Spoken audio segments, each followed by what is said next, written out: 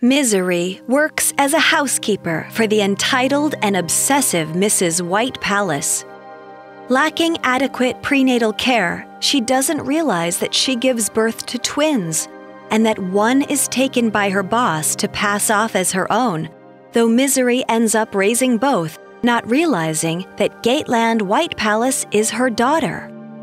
The contrast between Gateland, who has been taken into the wealthy family, and Ghetto Land, Misery's child that remained living as hers, demonstrates the stark juxtaposition between the upper and lower classes.